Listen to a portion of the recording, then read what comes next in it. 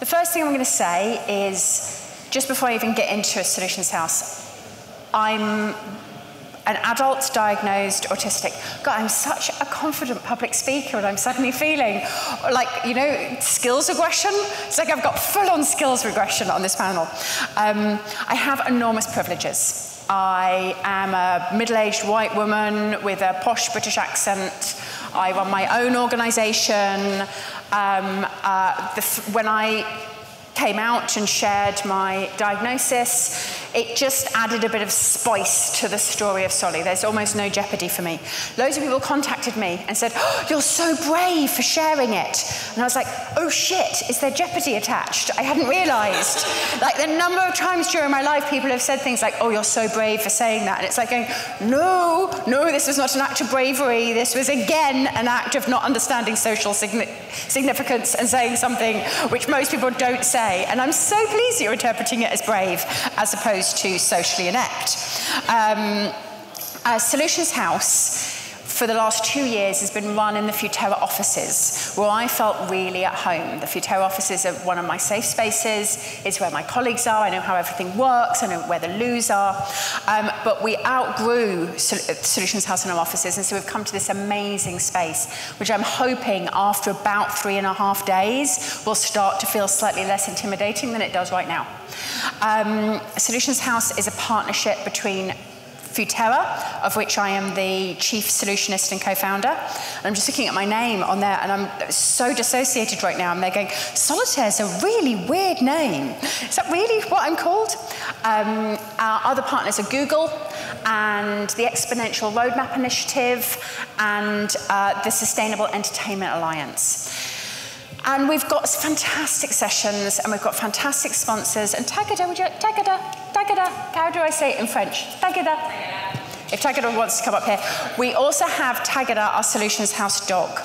Um, so if you hit, feel someone kissing the back of your ankles, you've either made a friend with the people sitting behind you, or it's Tagada, the Solutions House dog. Now, I'm actually quite scared of dogs. Dogs are, I'm, I actually get a bit anxious around dogs, but Tagada is a very, very good girl, and so I feel quite calm around her.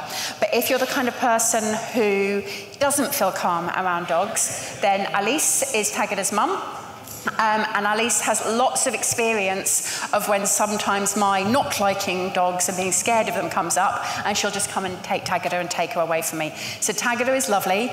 A lot of people love dogs. If you're not the kind of person who loves dogs, please just put your hand up and Alice will come and take her away. And Tagada will not even remember because she's had so much love these last few days. Literally, she is the star of the show. Um, I'm still, just to let everybody know, I'm still waiting for Rhonda to join us online. If someone could give me a heads up on whether Rhonda is able to dial in or not. So there she is. Hi, Rhonda. Can you see and hear us? Um, Rhonda, I'm just going to do a little bit more of an introduction, and then I'll come over to you if that's okay. That's perfect. Brilliant. Thank you, Rhonda. So, um, why did why did we? Decide to gather to talk about neurodivergence. Um, over the last few years uh, of being a neurodivergent, um, I noticed how many of us there are in the sustainability and justice and change communities. Like a lot more than there is supposedly to be in the general public people who have a clinical diagnosis, people who have a self diagnosis, people who have a, that sounds really familiar and I'm not going to think about it too much, diagnosis. Um, there seems to be a lot of people who identify with the neurodivergence which we already have catalogued and named. And a lot of people who identify with a, perhaps a neurodivergence that isn't even catalogued or named yet. Um, and I think that that's one of the things which we're going to find out over the next couple of years. And it's, I started to reflect on why? Why are there so many people who have, it's not an easy sector to work in. It's stressful and it's challenging and it's political and sometimes people disagree with you and sometimes people are nasty to you. All things that, as a neurodivergent, I don't particularly love. It's incredibly frustrating because I'm very good at my job, but I shouldn't have to be because climate change is just fucking stupid.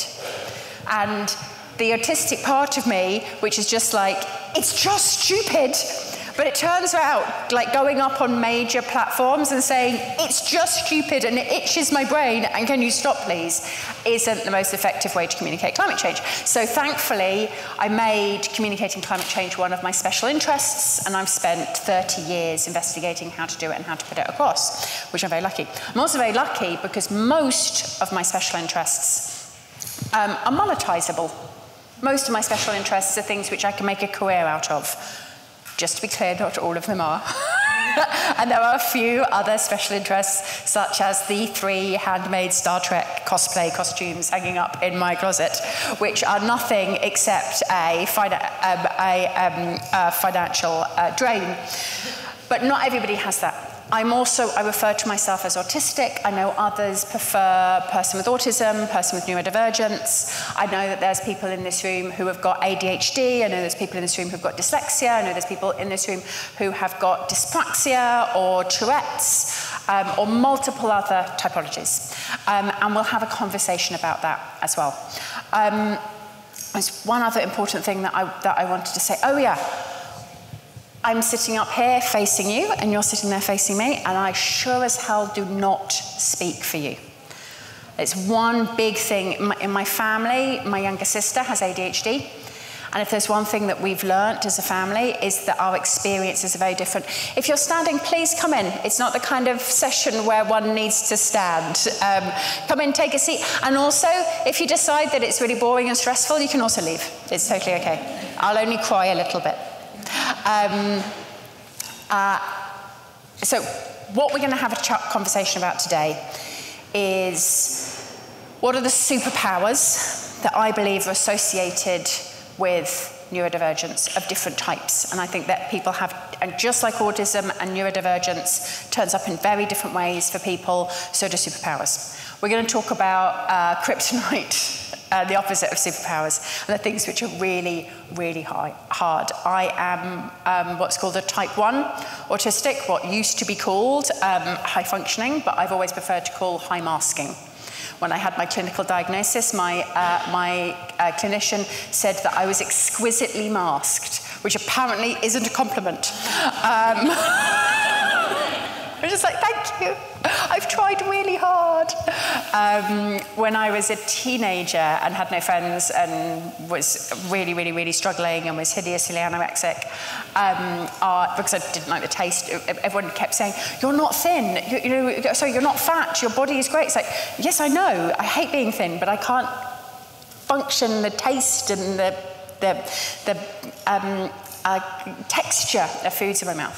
But when I was a teen and was really struggling, I spent uh, about six months taking notes on the rest of the teens in my school the, the, the, the different relationships, the hierarchies, the clothing, the mannerisms, and I trialed them in, in the mirror until I was able to do that. And then I ended up, I was not the most popular girl in school, but I was best friends with her. So I, I learned to mask, for, and then I read psychology and anthropology, and I learned how to kind of pretend to be a human being, which is what being neurodivergent feels like most of the time. Um, so I am reasonably comfortable up here.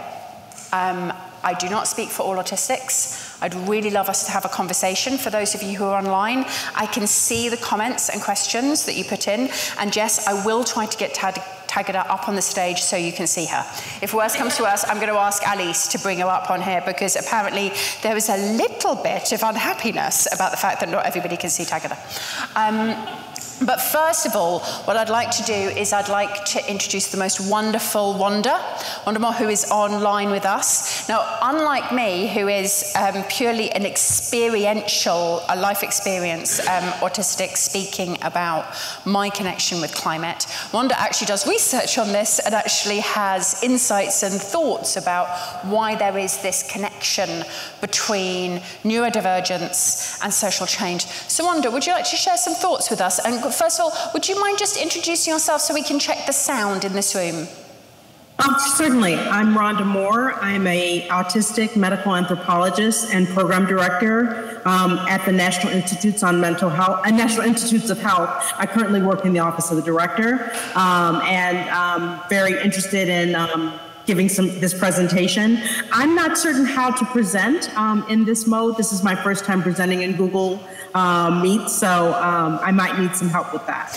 Um, whilst, Rhonda, whilst Rhonda and I should get that sorted out, um, I'm going to share some of the superpowers that have been raised at some of the sessions that we've done online. So if you're not part of the LinkedIn group of Neurospicy Solutionists, and also can someone else get their fiddle toy out because I'm feeling really lonely being on my own. if, uh, if you're not part of the LinkedIn group on Neurospicy Solutionists, I'd really ask you to join um, because we've done a couple of sessions on that. What I'm going to, some of the, some of the um, superpowers that have been raised have been number one, pattern recognition. So, pattern recognition doesn't mean that we're particularly good at filling in crosswords, um, or you might be, but a lot of neurodivergent people of all types um, tend to be very good at seeing connections between things which perhaps others don't always see, or seeing things which actually might be the same even though they don't look exactly the same. Now, pattern recognition is absolutely crucial when it comes to solutions to climate change and to, and to climate change itself, because it means that we can see some of the emerging patterns in the problem, but perhaps we can see some of the emerging patterns in the solution. And that's one of the things which I've relied on a lot for some of my work on strategy, is to sort of go, yeah, but if we put that together with that, with that, doesn't this come out? So that was one of the big um, uh, pieces. Another piece, which is one which neurotypicals sometimes get wrong about neurodivergent people, is empathy. Um, is that actually sometimes as an autistic my empathy is so high it's overwhelming and I shut down and that's when I come, that's when robot Solly comes out robot Solly comes out when overly empathetic Solly can no longer function and actually our empathy and our empathy for those who are other to us they might be somebody who's other to us in terms of their geography, in terms of their life experience, in terms of their race, their gender, their age, their humanness. Like we can feel empathy similarly to animals sometimes than we might feel to humans and elsewhere, or even occasionally to inanimate ob objects, which is one of the things which I struggle with with my autism, is feeling empathy towards it, and saying sorry to chairs that I'd bump into. And the third big one, which I just thought was so fascinating, was if you've got the type of neurodivergence, which means you don't automatically understand what's happening in society, where you don't seem to have, that programming, where you just get why things are the way that they are, that you have to learn it and are constantly bedazzled and befuddled about why society is the way that it is, means that you have the ability to see that it's all completely fucking made up. all of it. Our economic systems, our social systems, the market, politics, hierarchy. We invented all of it. And most people, giving 10 seconds of reflection, will agree. Neurotypicals as well as neurodiverse will go, yes, of course I can see that that's all made up, I understand. But if you're neurodiverse, you live in the fact that it's made up all the time because you're having to try to work out what are the made up rules and systems in this situation that a bunch of human beings have decided is God given and this is the way that we need to live. And therefore, I need to work out how to live within it in order to function as a human being.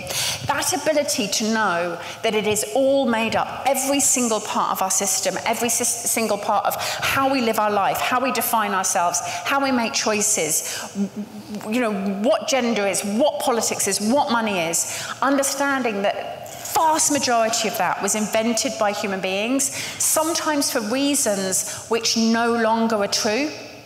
Sometimes they were invented for good reasons. That's why I'm interested in history and anthropology, is it means that I realize why societies are the way that they are. And they go, yes, but we no longer live in like 18th century Vienna or in like, you know, the Industrial Revolution or in ancient Greece. There are, maybe we don't need these rules anymore. And living that way, walking through life, knowing that none of this, none of the systems that we live in are necessary or unmutable, unmovable, is a massive gift that we can bring to the world. Constantly reminding everybody else that those social rules that you feel that the, the social rules that neurotypicals feel are, are, are just the way things are. As a neurodiverse, you can say, no, th- those rules are completely mutable and we can change them. And I think that that is one of the reasons why, over the last 30 years, everybody has always asked me, why are you so hopeful about climate? Why are you so hopeful and optimistic all the time? Okay, I'm hopeful and optimistic because I know it's all completely made up. It's like the front of a, of a, of a movie set. Like, give it a little bit shake and it can all come falling down. And that makes me enormously optimistic because when people say, oh, things will never change, I'm like, do you reckon? because I think things are probably much, much more changeable than you believe, because all we have to do is tell ourselves a different story create a different set of social rules, create a different system, and suddenly everybody will think that system is immutable as well. And in fact, the psychologists and the sociologists would agree with us. It's called punctuated equilibrium. Societies love their rules and they hold on to their rules because they stratify and they give comfort and they mean that things don't change. All the things which actually, as an autistic, I quite like that they hold on to. But they, we tend as societies to hold on to these social rules far beyond where they served us. Or in fact, when they're actively hurting and destructive of societies, it's sort of the capex spend, the, the, the, the, the, the sunk cost of those social rules are so great, humanity doesn't like to change them.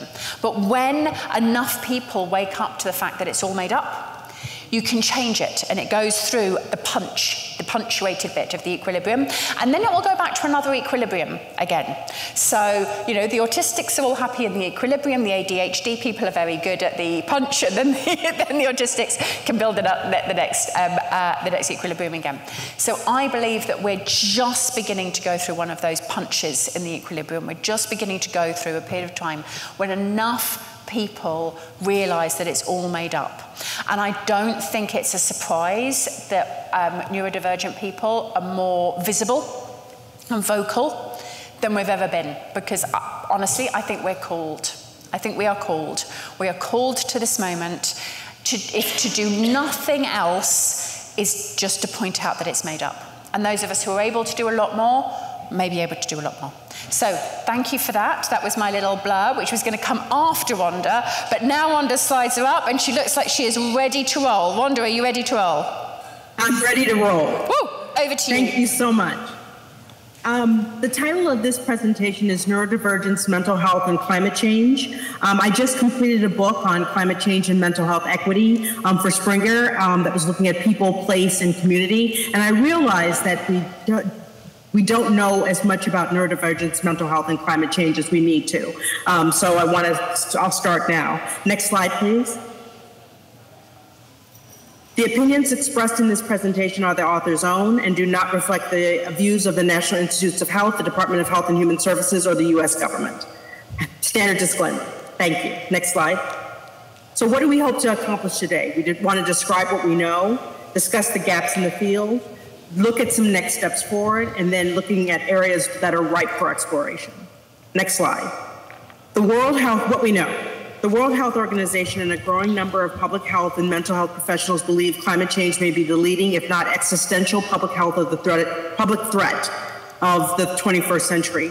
Climate change is often characterized as a threat multiplier, given its potential to exacerbate many of the existing global challenges and threats, such as infectious disease, intersectional violence, and conflict over food, poverty, safe housing, and water, and other increasingly scarce resources.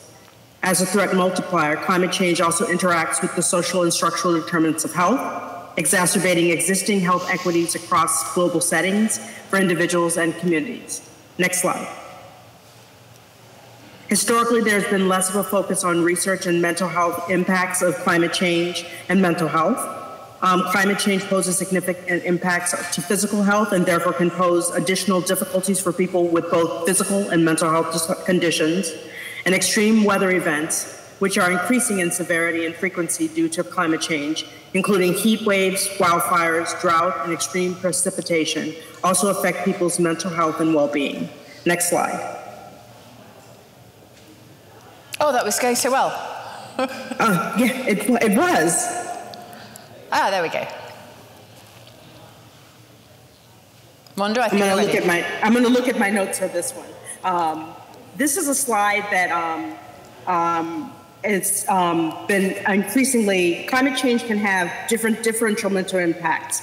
Um, the impacts of climate change can be direct, indirect, short, long term, and also intersectional. In this regard, I am inspired by the important work by Fiona Charlson, Helen Berry, Susan Clayton, Tori Shao, Britt Wray, and more recently Andreas Heinz and Lasse Brandt, who are responsible for this slide. Climate change has direct, indirect, short, and long term, as well as intersectional impacts on, on mental health. The direct and direct and intersectional impacts of climate change are interconnected and can cause aggregate impacts that are associated with uh, increased mental health disorders. Post traumatic stress disorders, such as post traumatic stress disorder, depression, and anxiety. Direct impacts of climate change, such as extreme weather events and increased disasters, are likely to have immediate impacts on the prevalence and severity of illness, including increased infectious diseases, co occurring and multimorbidity in affected communities with significant implications to healthcare systems, security, and infrastructures. Individuals exposed to natural uh, disasters such as hurricanes, floods, and droughts are also at increased risk for mental disorders such as PTSD, um, depressive disorders and anxiety disorders. The severity and duration of mental um, disorders following natural, natural disasters may be increased by psychosocial stressors such as personal and financial loss, becoming unhoused and forced migration, by vulnerabilities such as pre existing mental health disorders and low social support, um, and by insufficient mental health care. Trauma, such as uh, terms such as climate anxiety, eco anxiety, and eco grief, are often used to describe the indirect effects of climate change on people's anxiety, as well as comprehension about the possible impact of climate change. As climate continues to change and extreme weather events associated with climate change become more frequent, severe, and long lasting, the precipitation um, of the impact of climate change on the environment is becoming a lived experience for more and more people. Several new terms for climate change induced distress have been introduced in the literature to describe the long term emotional consequence of anticipated or actual environmental changes. These may be referred to as psychoterratic or earth related mental health risk syndromes. Chronically, the exist- existential threat about the uncertain future is driving increased eco anxiety, eco paralysis, eco guilt, eco psychology, ecological grief, biospheric concern, et cetera, as well as solastalgia, the place-based emotional distress caused by environmental change. Mourning the loss of ecosystems, landscapes, and species, and the ways of life is, is likely to become more frequent experience around the world. However, there is a lack of conceptual clarity and systemic research efforts regarding the differential impacts and forms that so, such ecological grief may take, and development of new ph phenomenology of the effects of climate change requires delineating between these very terms. Next slide, please. Recent work highlights that relatively little is known about the impact of climate change um, on the mental health in neurodiverse populations. Other work suggests that heightened risk and barriers during and after natural disasters. For instance, research shows that people with intellectual and developmental disabilities are more likely to experience poor outcomes, including increased post traumatic stress disorder, anxiety, and stress following natural disasters such as hurricanes, cyclones, and earthquakes.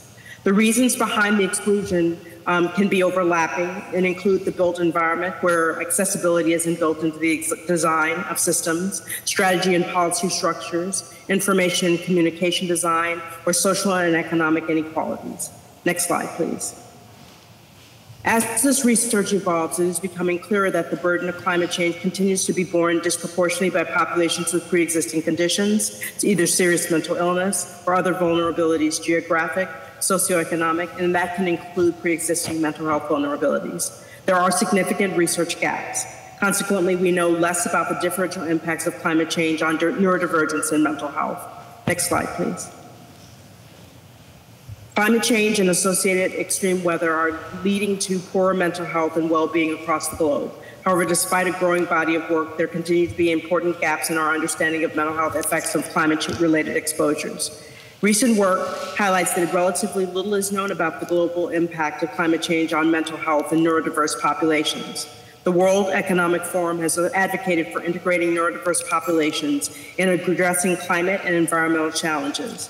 And there is a need for research exploring effects of climate change in neurodiverse populations, including the lived experience of neurodiverse neurodivergent individuals, to better help understand and mitigate the direct, indirect, and intersectional consequences of climate change in this important and understudied population. Next slide. There are significant gaps in this field, and I decided to do my small part by creating an edited volume that builds on prior work in climate change and mental health equity by elevating the science of lived experience with perspectives of intersectional neurodivergence, nature, and climate change. The stories within this book will talk about the journeys that people take, their experiences of nature, stories about why climate change matters in the context of understanding intersectional neurodivergence, aligned with stories of neurodivergent discovery, strength, self awareness, resilience, and belonging. Next slide.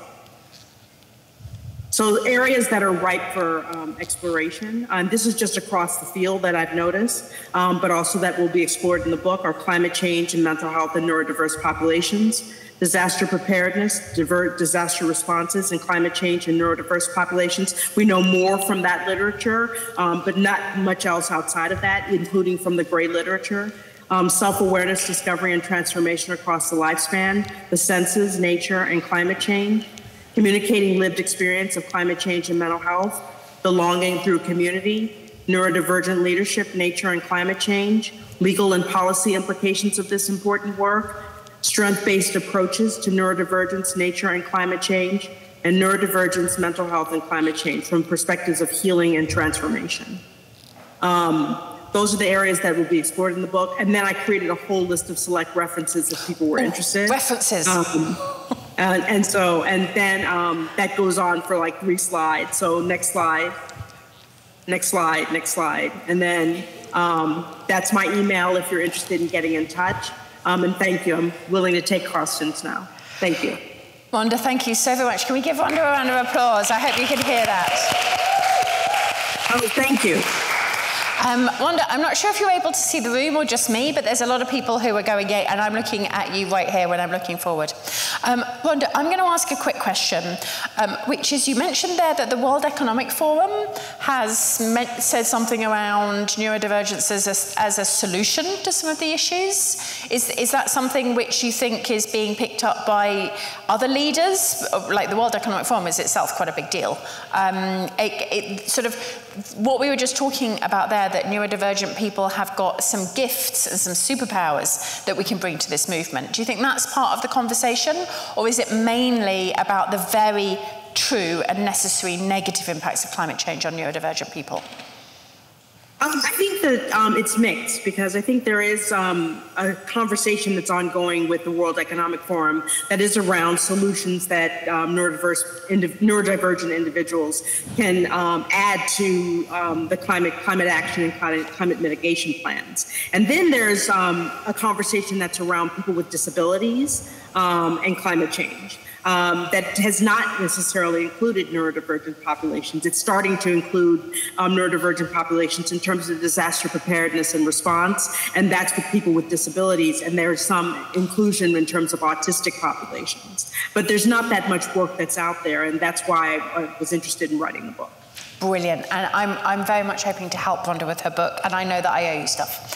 Um, uh, what I'm going to ask now is if those of you who are online and joining us could participate in this as well. We're going to ask some questions of the people in the room, but I know a lot of people prefer to participate online because you can write your answers. So I'd ask you to please um, share in the chat some of your answers. We've got some microphones which are at the back. Um, Kim has two microphones, excitingly. What I'm going to ask is uh, if anyone in the room would like to take about 30 to 60 seconds to share any thoughts or questions or to share what you think a superpower is of being neurodivergent. So um, there is two options there. So you can, you can share anything you want to share or ask a question, or you can share what you think a superpower is. We're going to talk about the problems as well, but I'd really like to start with why we're all working in this thing. We have a question here at the back, we have a question over there. And also, I'm feeling really stressed. Can we have Tagada up on here? Would, would you, if she's okay, would you bring her up? Um, uh, the gentleman there with his hand up. Oh. So, who goes first?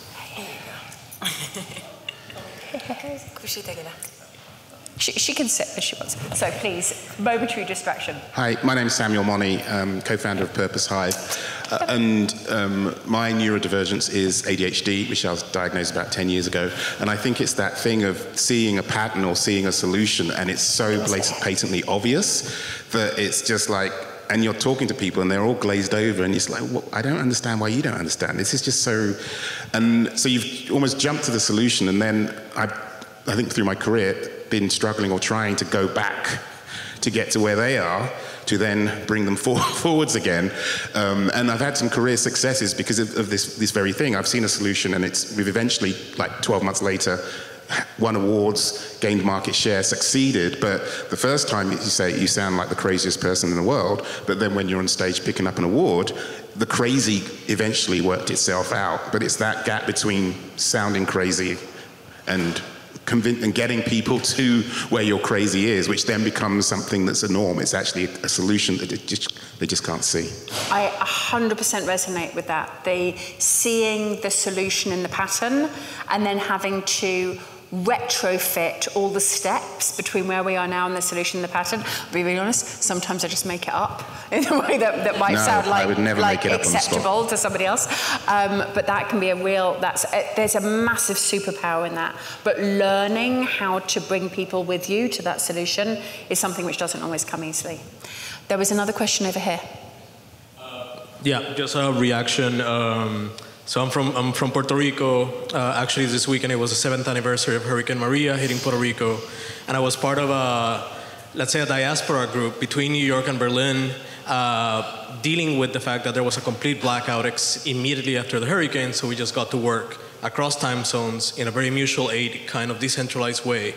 And I'm 37. I just got diagnosed with ADHD after a whole life of feeling like I was like, oh, I'm too weirdo, and you know, my astrological minded aunt would say you're just a Pisces, uh, but uh, just just just just be warned. Sometimes that's more socially acceptable. I'm like, oh yeah, I'm a Taurian INTJ. It's like, oh yeah, that's fine. Whereas exactly. autistic isn't always acceptable. Exactly. So I think this weekend coming in for Climate Week, in the context of what had happened in Puerto Rico and thinking about my own journey, um, I was looking back and and I would assume that this kind of cortisol fueled drive that happened in the immediacy combined with the, this ADHD to be able to filter information for a lot of people and on behalf of a lot of people. For example, my, my specific contribution was I built the largest database of um, volunteer and location drop-offs in the US. It meant talking to people throughout the night, people that I never come in contact with, right? Getting a, a, message in the middle of the night and kind of activating on that. Yeah. And I think I'm grateful for the fact that this kind of chaotic minded uh, approach to information gathering and filtering kind of really kicked in. I think that's such a great point. My, my younger sister is um, autistic, and by the way, many of you will know in a neurodivergence experience, we create connection by telling a story of ourselves to someone who's told a story of themselves. And in our family, there's many challenges she faced. She's a, a level two, and unless there's a crisis, in which case suddenly her ADHD flips into the thing which everybody needs. And one of the things which um, I was reading about was that there's actually some um, geneticists who are working on what is the reason why ADHD is so prevalent within society and has been so, why do we still, why is it not evolved out if it's something which is considered to be a disability or a problem?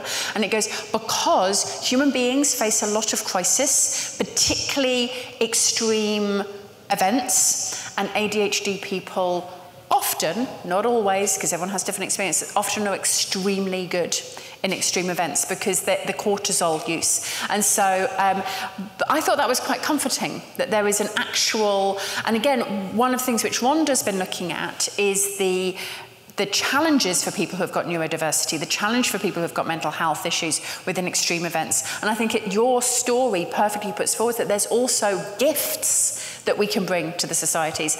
Although, if you're anything like my sister, welcome to the crash that happens after you've performed and then when suddenly all of the stress has gone away, you're like going, yeah, but now I can't make a cup of coffee. like a week ago, I was saving people's lives. How does that work? Um, so a lot of empathy for you on that one. Thank you. We've got some, some points down at the front. And then Rhonda, I'm going to come to you after we take, we're going to take all the points along the front row, um, just to make sure that we can capture them all. Uh, thank you very much uh, for all of this. Has been amazing. And when you said that whole spiel about everything's made up, that has literally been my mantra for the last two years from the whose line is it anyways everything's made up and the points don't matter so just do it anyways and so i guess my question is when you're in a space where you're mask, high masking and around a lot of individuals who are neurotypical if you will trying to communicate those thoughts that you're first in this situation and they look at you, they glaze over, they think you're crazy. Do you, do you have any advice in that space on how to best communicate with those individuals to get your point across and not have them just glaze over and then start looking at their phone or looking at their watch or looking around the room? Because that is something that I struggle with quite a bit. Yeah. Yes, I would. I do have some thoughts on that, and might as well, but we'll, we will come to that. Awesome. Hi, thank you so much for this. I feel so seen and accepted here. I'm thrilled. Um, I got diagnosed with ADHD last year, and we just found out that my partner is on the spectrum. Um, so we have a very neurodivergent house in my house, but I also, uh, I work at a school in LA teaching climate justice and environmental justice um, at a school for a lot of kids that are neurodivergent, for which traditional school di schooling didn't work for them. And I know a lot of the people here that are neurodivergent may have a little bit of educational trauma, um, as do I not knowing I had ADHD for my entire academic career.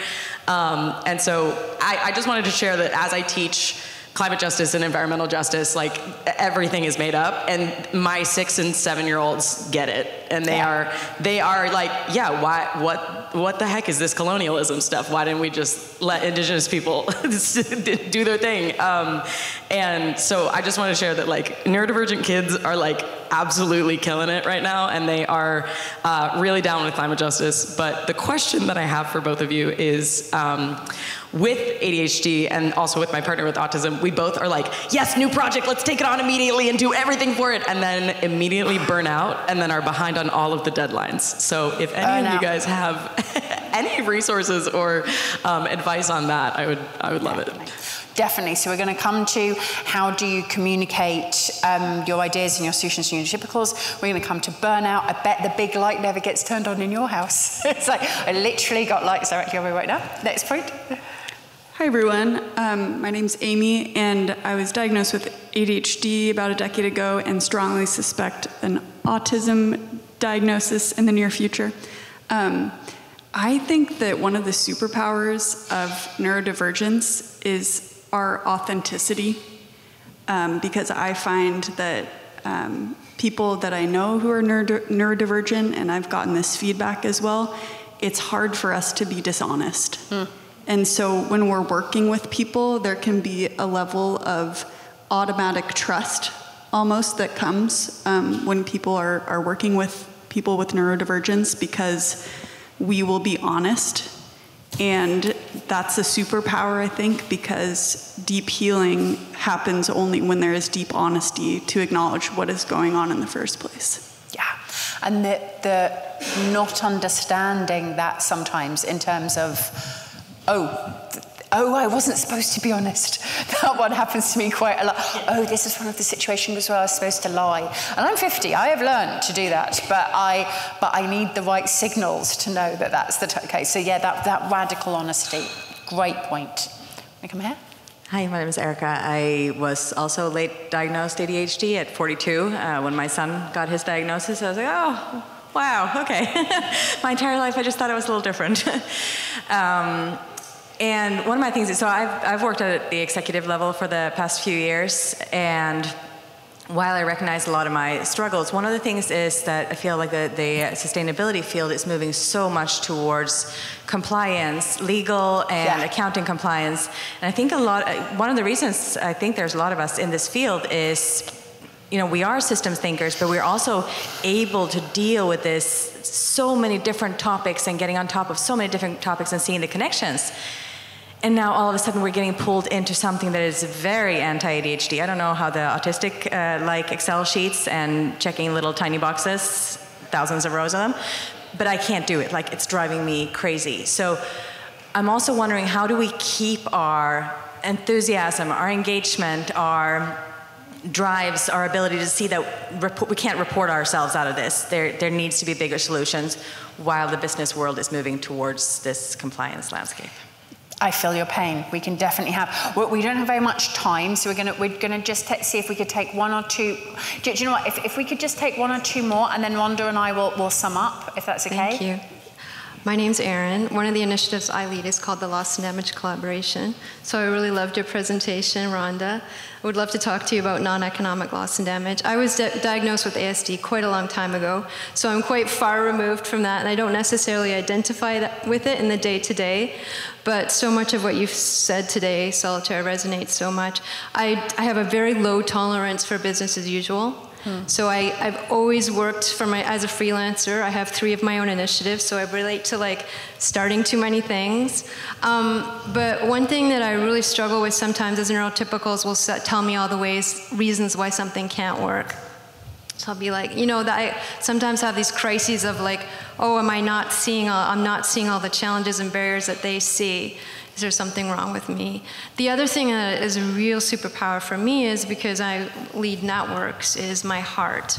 So sometimes people with autism get kind of stereotyped as being kind of robots, like you said earlier. But I feel like, at least for me, I mean, it is a spectrum and so is humanity at the end of the day. But I feel like my heart is absolutely my superpower.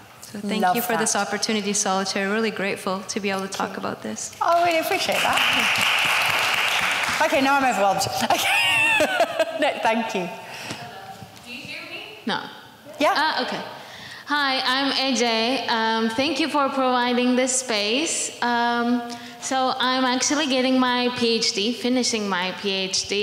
Oh. Um, and I got diagnosed with ADHD after getting kicked out of the PhD. And then I fought my way back in.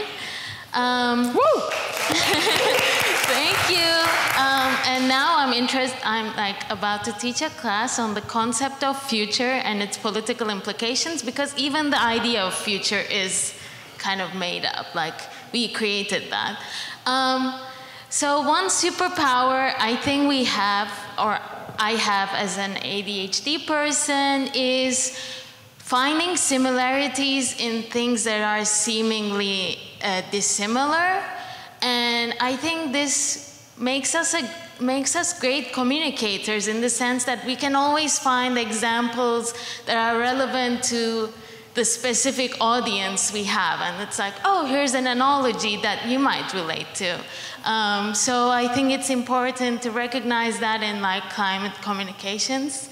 Um, and yeah, but I guess the challenges is like my life is marked with like highs and big lows. It's like, yes, I get kicked out and then I get a PhD as well. So I oscillate between two extremes and I don't know like how to follow a straight line. Uh, that is like life. I, I, don't think many of us have straight lines, yeah, honestly. Yeah, think, but like, yeah. See, I feel like that's the expectation, and I I never seem to. It's when people ask you about your you. your how did you get here, and you go, how long have you got? it's like, it's like can, can, can, I make something up that would just sound like a straight line? Um, but that's a great point, folks. We don't have very much time left, so I'm going to ask Rhonda to take about about two or three minutes, Rhonda, to respond to any of that. Please choose which bits you want to respond to, and then I'll close us out and see if how much I can answer. Um, I just wanted to, you know, respond to um, about ADHD and autism and burnout um, because I had a recent experience of that myself. Um, I spent, um, I was working at NIMH, the National Institutes on Mental Health, um, being told that climate change and mental health was not going to be a big area of interest. It wasn't going to grow as a field, and that there wasn't going to be that much interest in it in terms of my portfolio.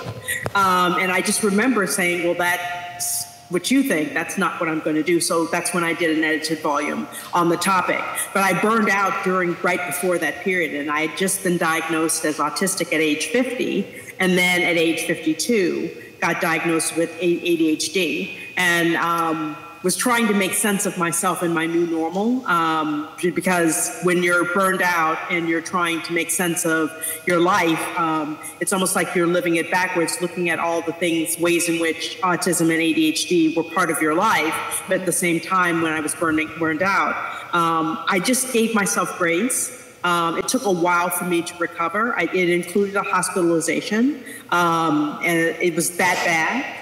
And um, when I came out of it on the on the blue side of it, um, I realized that I didn't have to listen to these people, and I, I could continue to move on with my forward with my life. But the burnout period was just a, a little disillusioning. Um, I was a little depressed and had a lot of anxiety.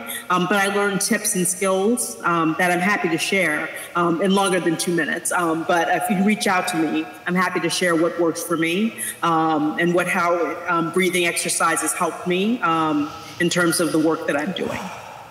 I'm taking a big deep breath whilst you say that, Rhonda. Thank you so much, and that's an incredibly generous offer, Rhonda, to have to have said that. I'm going to quickly see whether. Okay, right. Let me use autism superpower. Okay, number one, how do you communicate your insights and your thinking in a way that connects the line up for people who are neurotypical? I don't know, because uh, I try to do that quite a lot.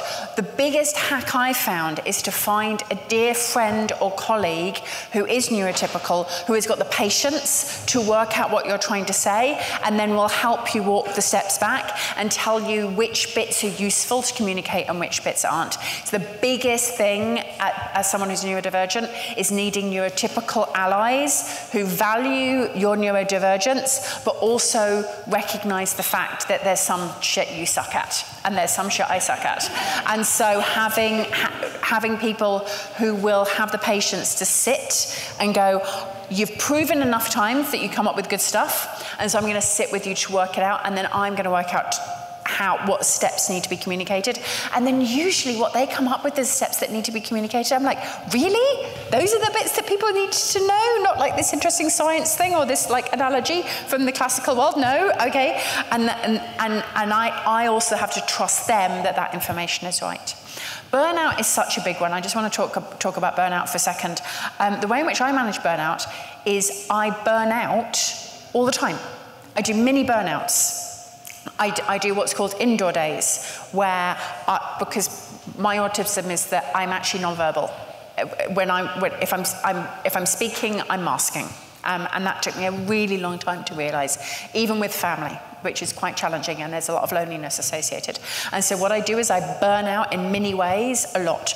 And I completely, like, I don't like I'll be really honest, this is way too much oversharing. I don't like showering. I don't like the feeling of water on my skin. I don't like brushing my teeth. I don't like touching my hair. There's certain foods that I like to eat, almost all of which are crap like bad for my health. And I will spend a Sunday not speaking, not washing, watching my shows that I've watched 40,000 times before, and eating crap. And if I do that enough, if I let myself go enough, I can keep going.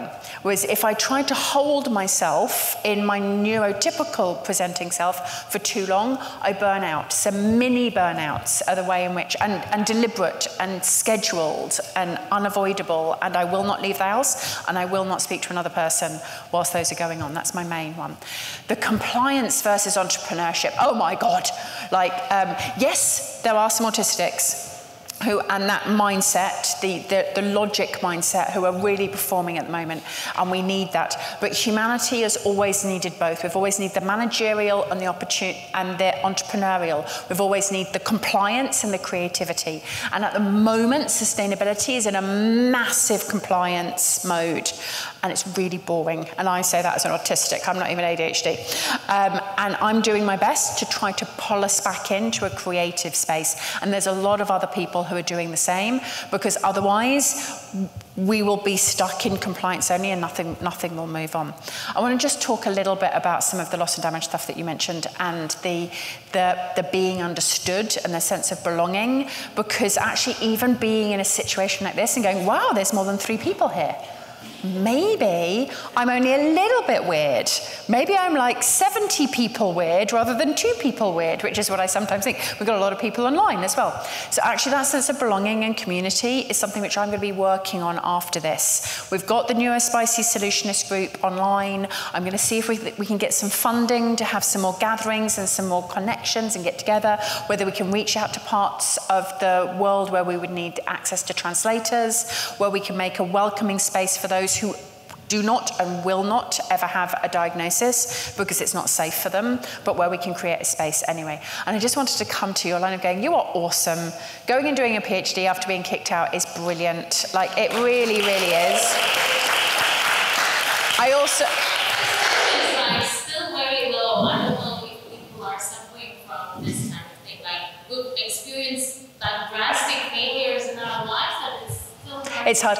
I, I couldn't read or write when I was 13, and I have two master's degrees.